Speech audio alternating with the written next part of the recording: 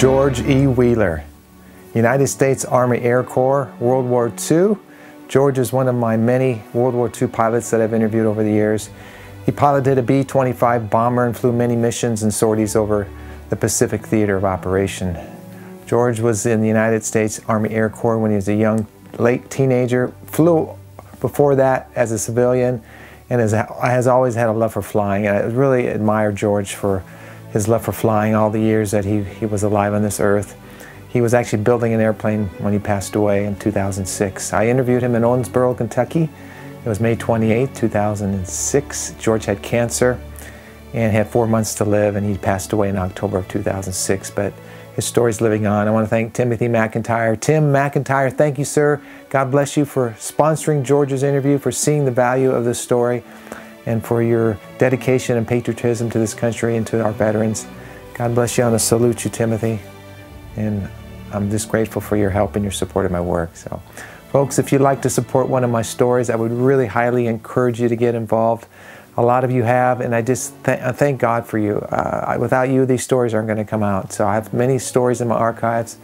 Thinking about interviewing more veterans of the new year. I haven't done a lot of interviews for many years, but I'm thinking about going around the country interviewing Vietnam veterans next year. So if that's of interest to you, you know somebody that might want to be interviewed, please send me an email, get a hold of me, and we'll work out a plan. Um, amen. That, that's something that's really on my heart. So. But if you want to sponsor a story, there's information in the video description and in the comment section of this video, and also on my website, larrycappetto.com. So I encourage you to do that. Okay, George's story again, it's, it's amazing his love for flying, and I want to share some pictures with you now and then get into his interview. But uh, George isn't with us anymore, but his story lives on. He, like I said, he flew with the 145th Bomber Squadron in World War II, and he was a second lieutenant. So just an amazing man, amazing story, and uh, he was very sick. He, he worked up the courage to come and talk to me when he did, almost 16 years ago now. So God bless you, George. I know you're in heaven looking down on us, and I'm happy to share a story with you now. Please also share these videos and subscribe to this channel. I don't monetize my videos. There are no commercials on this, on these videos, on these interviews. Purposely, I don't do that. So I rely totally on you and your help and support. So God bless you.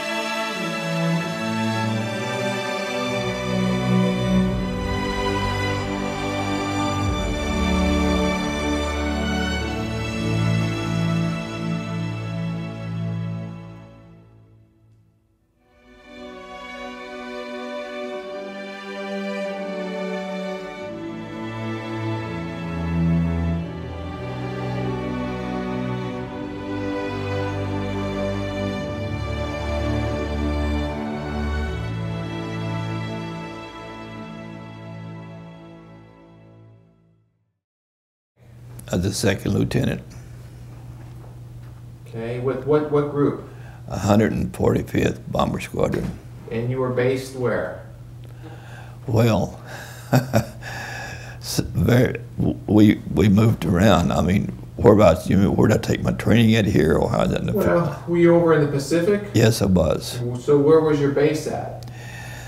Started out on an island called Pago Pago. It had a long name of it, but we nicknamed it Pago Pago. Mm-hmm. And then we moved further down in the. What year? What year did you serve over there? What years were you over there? 42, 43? No, it's 44. Uh-huh, 45? 44 and 45. What other islands were you involved with over there? You know, right now we would jump as they one, and I don't really remember mm-hmm. What kind of plane did you fly then? a B 25. That a bomber? Yes, sir. So you were you went on bombing runs? Is that what you did, or We did more scraping runs than bombing runs. Mm-hmm. like where would you go? Would you like soften up an island before the Marines would land? That is correct. We- Tell me tell me some of the operations that you were involved with over there. Well, what we would do, those islands were grown up with a lot of overgrowth, and they didn't know what was on the islands. And I flew a B-25J model. The J model had two guns on the, each side of the airplane, the, about the cockpit.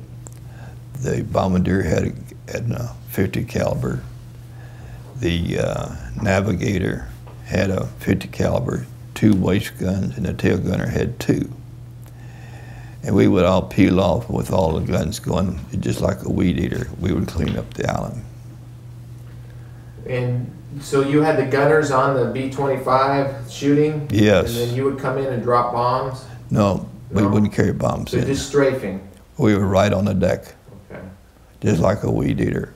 And Just stuff was flying. And you were the, the, the chief pilot or the captain of the aircraft? Yes, I was the pilot of the airplane, had a co-pilot. Did you by chance go in over Guam or Iwo Jima or Okinawa or anything like No, that? no, I did not. Tell- Now, did, did you ever encounter Japanese airplanes in the air or was that something that the fighters would encounter? Um, I was very lucky.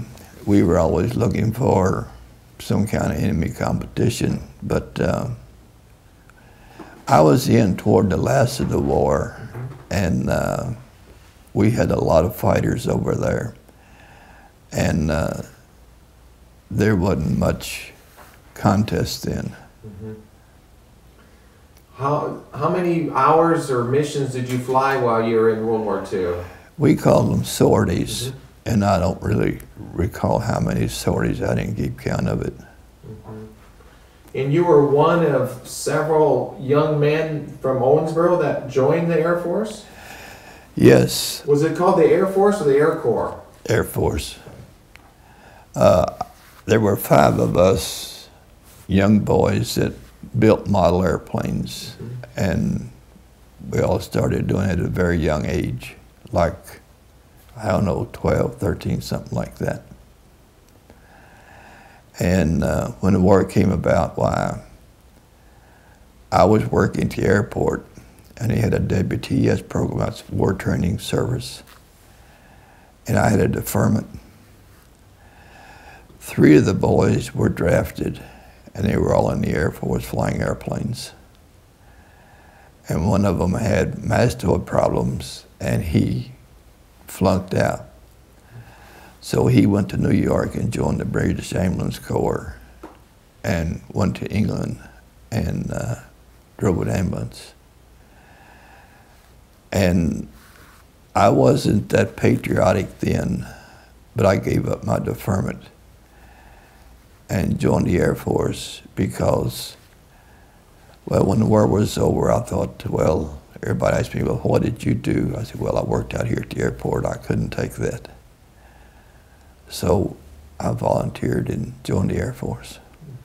How old were you then when you joined? You remember how old you were? I think I had to wait. I was 17 and a half when I gave up my deferment, but I had to be 18, I believe, before they actually took me. Mm -hmm. And so how old are you now? 80? I'll be 81 next month. Okay. Okay. So you're just a young teenager going to war, huh? I had never been out of the city of Owensboro. Was it like a culture shock for you to go around the world or or were you ready to get out and do something? No, I was scared to death all the time. I was afraid I was going to be washed out and be made a gunner or something like that because I wasn't very smart. We had to take all kind of tests. We psychiatrists, they would ask if you could kill somebody if you were on a tail end of an airplane, could you pull a trigger and kill somebody? And uh, it uh, it wasn't easy getting through. So did you ever have to shoot a gun like that, or were you just basically the pilot? You didn't have to shoot the, or did you shoot machine guns from where you're at? Or Oh yeah, Yeah. I remember the first raid that went on. tell me a little bit. Well, we were going to clean up this island, and we all peeled off, and I was about number three. And we came in and just right on the water. And right at the edge of the land by people had driven stobs down. And they had little boards across them. I know they had tied up boats. And boy, the two airplanes in front of me, they had their guns going and the weeds and stuff was going. And the only thing was on my mind, and I hope I didn't see anybody because I didn't want to kill anybody. And that's the truth. But as time goes by, you get a little more hardened, and well, I don't think I ever killed anybody, but it would have been easier to have done. But I don't think I killed anybody, but I don't know. So you flew B-25s. Did you guys fly in formation? Were there a bunch of you, or what? Absolutely. Tell me about how you take off and who's the flight leader and how that works. Well, you, the first airplane that takes off, he'll make a left-hand turn. The next airplane will cut out in front of him, and he'll kind of be slow, and you'll get up on his wing, the guy, and you fly normally three airplanes, three here, three here, three here, three here. And you change positions every once in a while, every 30 minutes, because you sit there and look at that airplane and you get vertigo. Now, some people don't know what vertigo is, but if you're sitting here like this, and you're looking at two tails. First thing you know, one tail is going like this, or you're getting screwed up. You better change positions. And we used to fly some at night, and you really got vertigo then. The only thing we had was a blue light on top of each wing and a blue light on top of each rudder. And it was just, well, I remember one night I flew one night mission and I was so tired when I came home I could not make it to the well my living quarters or my hut. I climbed up in the nose where the bombardier was and went to sleep. You fly by your instruments then when you have vertigo? I mean, is that what you're relying on, is the instruments, or what? No, you punch your co-pilot. He flies for about 20 minutes and when he gets vertigo he punches you. But what about when you're in the clouds and you can't see? Aren't you flying by the instruments? Oh yeah, oh yeah. But Yeah. that's that's not hard to do. But we, uh, I mean, uh, I've got over 24,000 hours in, uh, well, corporate flying. We, uh, a lot of it's up in the clouds. Can you tell me what the radio transmissions sounded like when you were going on a bombing run? Were you like red red leader to blue leader, or how did you guys talk?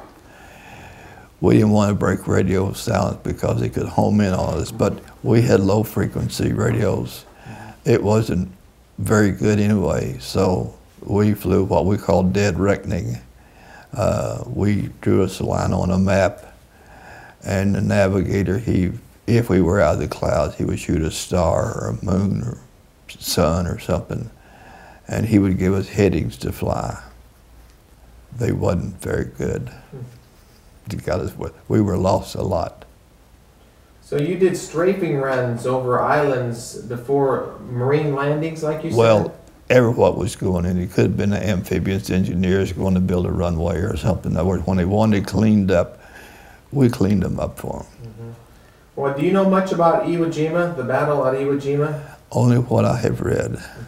Well, I heard that the Air Force bombed Iwo Jima for 72 consecutive days and it didn't do any good Well, because they were underground.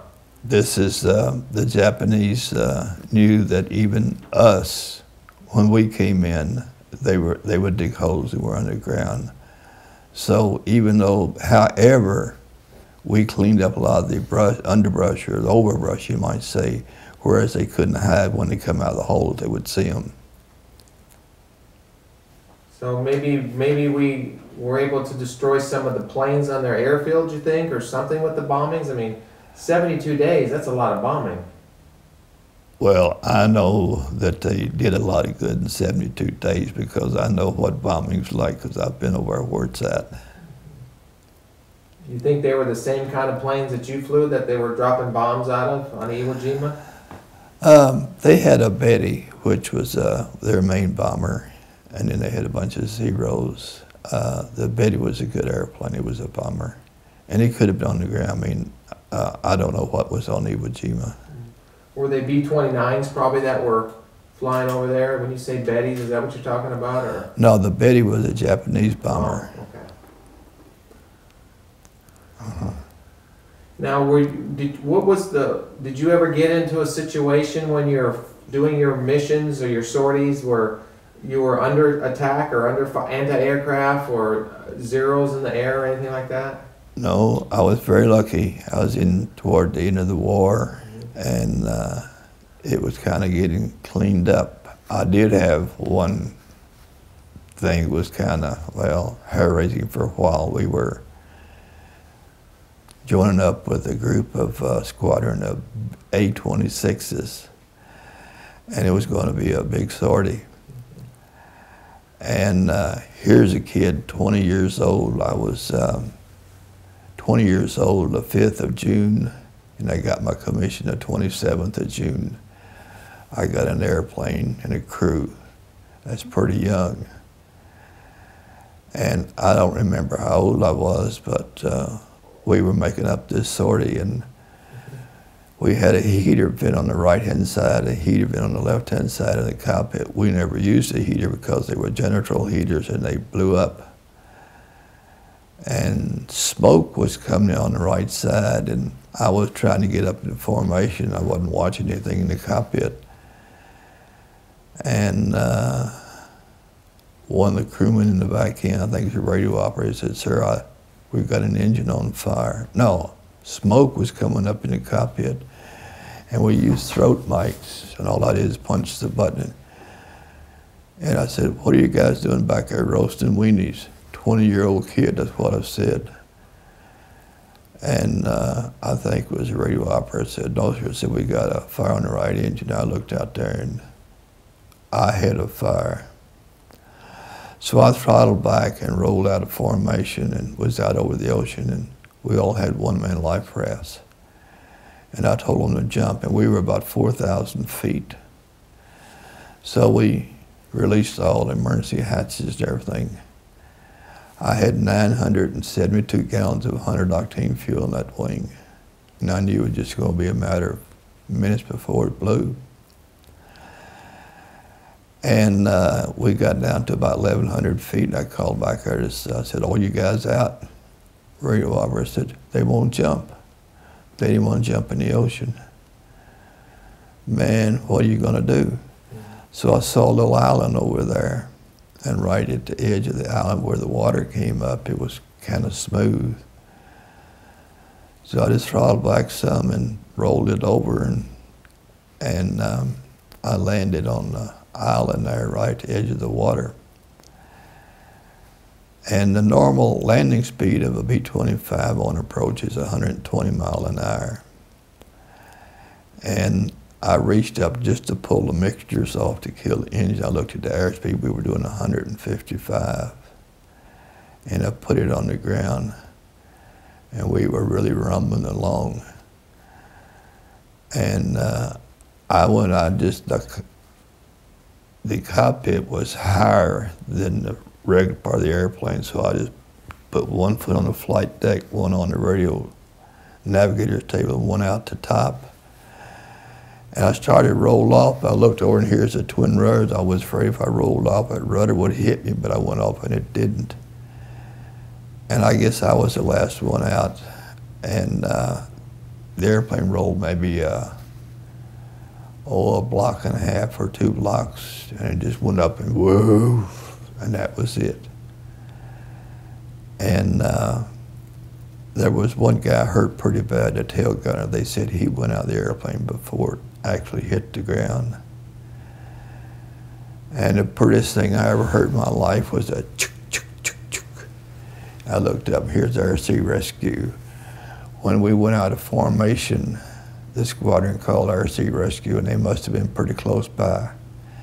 Now, they wouldn't, it was a PBY, and they wouldn't bring the airplane in, but they brought medics in and life rafts. and uh, they took care of everybody. And one of the medics came up to me and asked me if I was okay, and I said, yeah, I'm okay.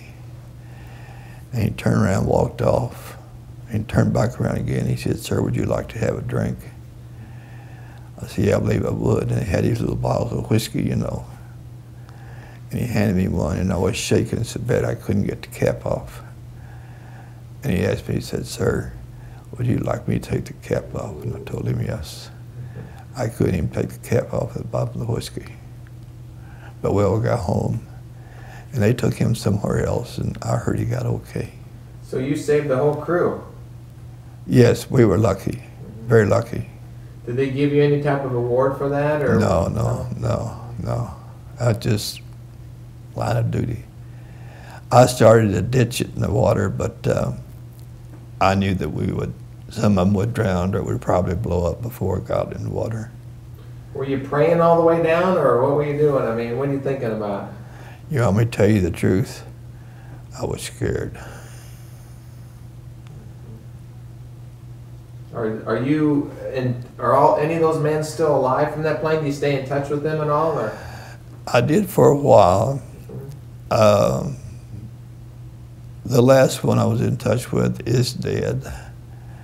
Um, but no, I didn't stay in touch with all of them. How about after the war? Were there certain men that you stayed in touch with? Oh yes, oh yes. One of them is in Houston, Texas right now. Uh, he just retired from, well, he was head of a big corporate company. He was chief pilot. As a matter of fact, I almost went to work with him several years ago, flew for him. But I didn't. So you, you have, you, are you proud that you served our country? Yes, I am. Have people thanked you for that? I imagine, yeah. Um, being in the war, being in the service, it was a lot different than it is today. After the war, until this Iraqi war, no, until after the Korean War, I was rather disappointed in the younger generation. Drugs and the way they lived, their lifestyles and all of that. But since we got Iraq war, some awful fine boys over there. How long did you fly? You don't fly anymore, right?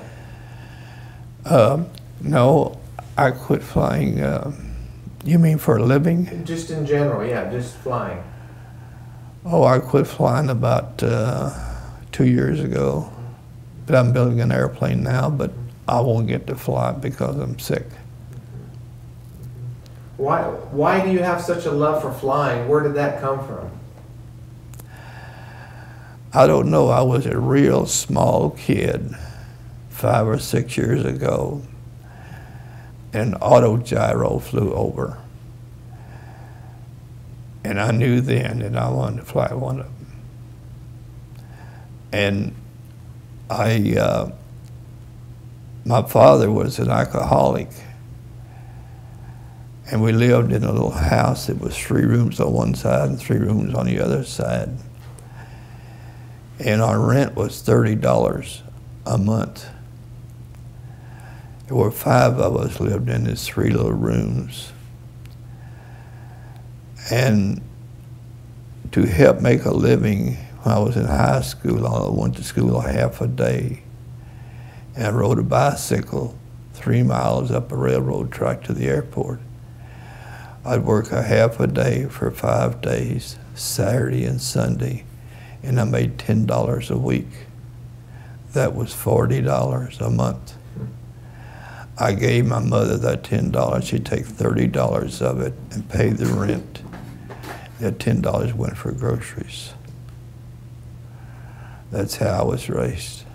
Mm-hmm. And you just, as a little boy, wanted to fly someday and you, you fulfilled your dream. I really did. Was it the Air Force that helped you fulfill it, or were you flying before the Air Force? I was flying before I went into service. As a matter of fact, uh, they gave me 10, they gave all of us students 10 hours in a J3 Cub, and I had already soloed. And the instructor never knew it, and I never told him. And I got the logbook after the war, and he says, student flies as if he's had previous flying experience. Student maintains instructions well mm-hmm. he wasn't a very good instructor. He, I could fly the airplane better than he could. Mm-hmm. Can you just, as, from a layman's perspective, tell me just a bit about turbulence? I'm curious. I mean, in a small plane, are you? I mean, what's? Should people be afraid of turbulence when they're flying? I mean, it's just what is it? Pockets of air, or what is it? Well, as the air, the sun heats the ground and the air, it rises and it rises, it cools off, then it comes back down. But you can get ahead of the tur- over the turbulence, depending on how hot the sun and everything is. Um, I have flown most of my life corporate flying, and when you fly a corporate airplane, you want to the your passengers. They determine how good a pilot you are, not how good a landing you make but how smooth the ride you give them. And we've got wonderful radars now. They can be all kind of storm and light and stuff, and we can pick our way through there. And you can sit a glass of water on a table and never spill a drop. And that's what they want. And I know if I was the corporate, uh, I mean, flying in the back is what I would want. But the big jets, they all have turbulence. You go on a flight, and for whatever well, reason. Well, we have what we call clear air turbulence, and they're formed from different, well, jet streams and things like that. You can't give everybody a, a totally smooth ride. What does a pilot do when they hit turbulence? Do they just ride it out? They can't be pulling anything or doing anything, right? Uh, normally, if it gets pretty good, we slow the airplane down a little bit. It's about like a boat on the water. Uh, we just slow the airplane down a little bit. Or we change altitude. Sometimes we go up a little bit higher and sometimes lower. Uh, most airlines don't fly above 38,000 feet. Uh, the military is up about 50. The company that I flew for right now, we have a Learjet and it's certified to go to 50,000 feet. And it's pretty smooth at 50,000 feet. I'm going to ask you a question that I ask all the veterans. You know, George, being a World War II veteran and, and an American citizen, what does freedom mean to you? I don't think that the average person realizes what freedom really is. I don't think they feel like what, I'm not talking about my generation, talking about World War One and Vietnam, Korea, what people have done to give this people freedom. What would you tell a young person about the price of freedom?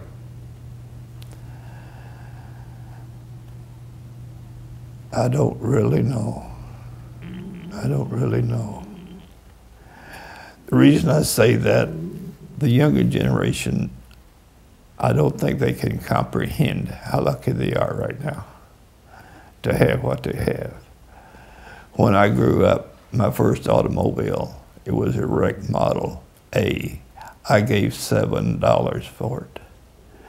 My first airplane, I gave $200 for it and was crashed.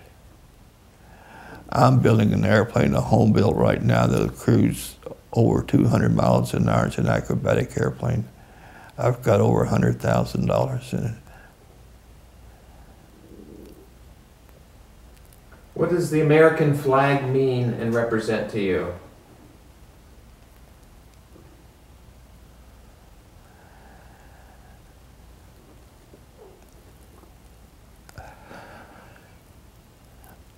A lot of people have died for it. Mm-hmm.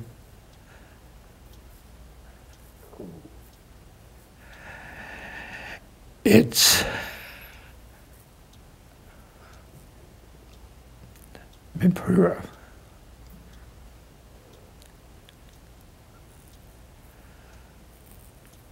You're right, they have. A lot of them have. And I think a lot of people don't respect the flag, you know. They don't. They really don't. It means a lot to the veterans, though. It does. The reason why I don't really like to talk about it.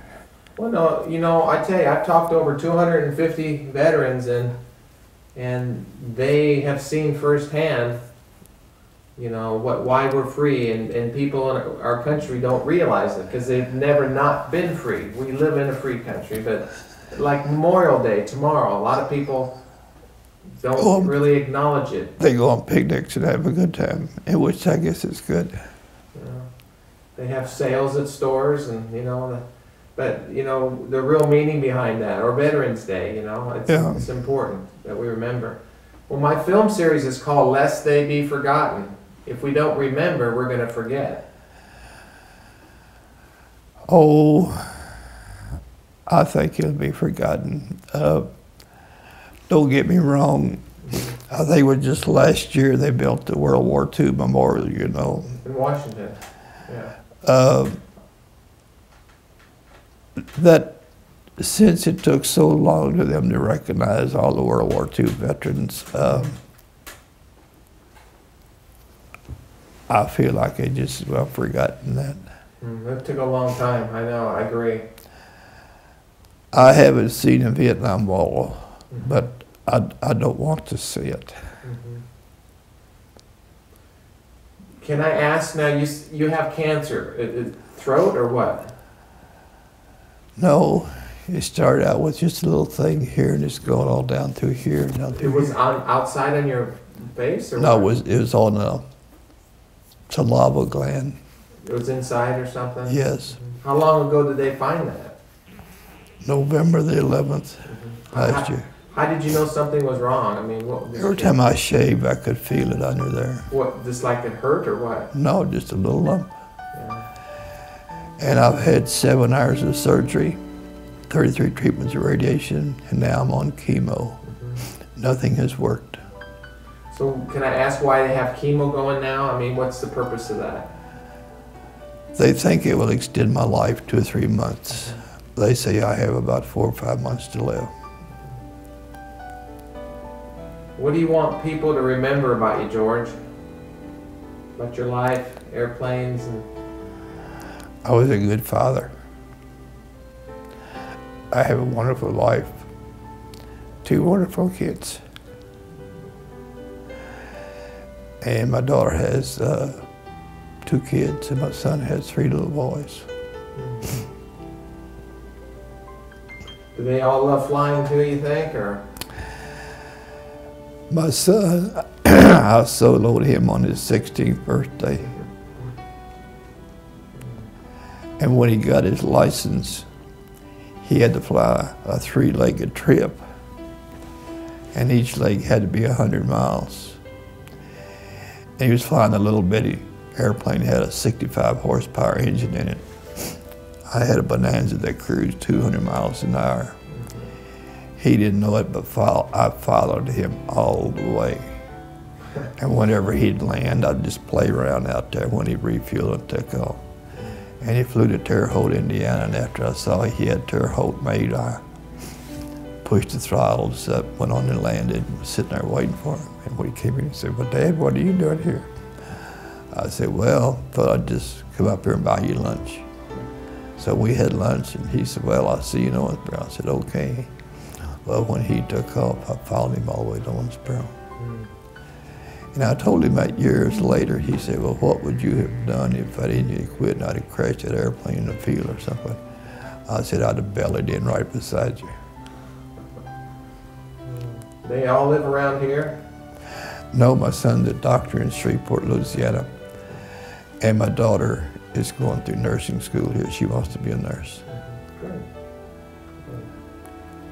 Well, George, I'm going to ask you to do one more thing. I ask all the veterans if it's okay with you. I'd like you to, to look, I want you to look into the camera and give me a salute. Could you do that for me from right where you're Yes, sitting? sir. Thank you.